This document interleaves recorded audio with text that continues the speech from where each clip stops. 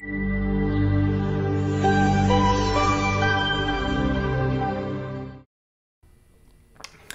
in this video, I'm going to talk about creating your own aspect-based sentiment model using Repustate IQ. Now, Repustate provides you with a, a wider range of pre-built aspect-based sentiment models that you can use. I'm going to show you one right now. We're going to try out the restaurant model. I'm to put in some text here. I loved the coffee. I thought it was too expensive.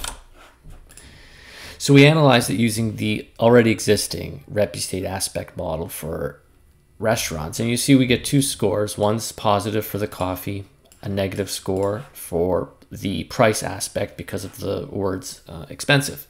So this is great. And if you're analyzing restaurant reviews, you can of course use our aspect model. But what if you're not? What if you've got something else that you want to analyze and, and you don't uh, have anything, um, or we don't currently have something to help you out. Okay, so let's create our own model then. So there's two ways to do that. One way is by having us train one for you using uh, machine learning with some sample text and we cluster semantically similar words and phrases and, and it's a, process. Or you can do it yourself through this uh, UI.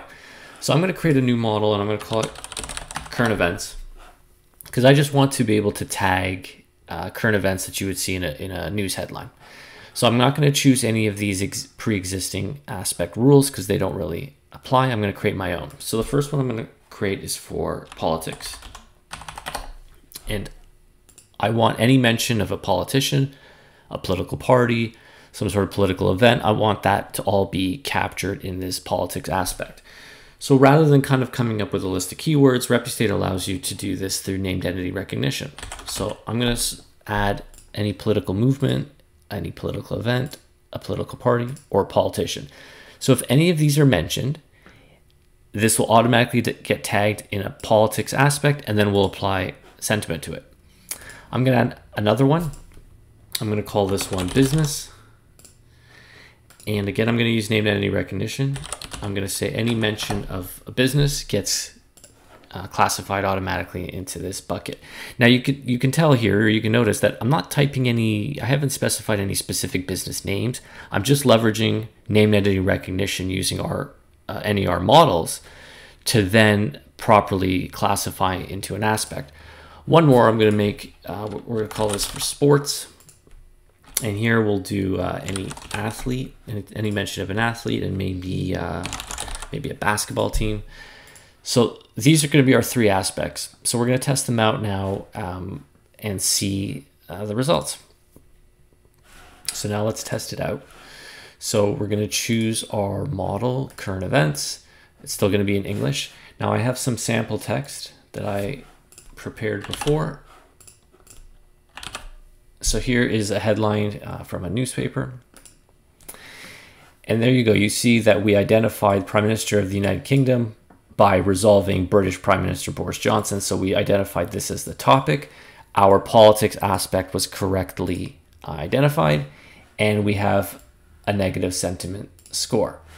So without typing any keywords or phrases or Boolean operators, the usual stuff that you'd see somewhere else, with Repustate, it's very simple to set up your own aspect model. Let's do another example. Let's test out some business news. So here's a headline about Apple's recent um, financial report. We'll test it.